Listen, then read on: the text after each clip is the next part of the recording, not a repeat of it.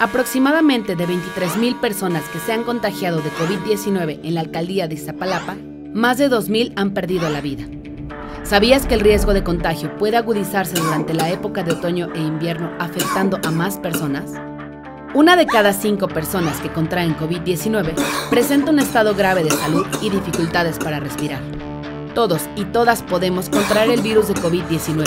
La pandemia no ha terminado.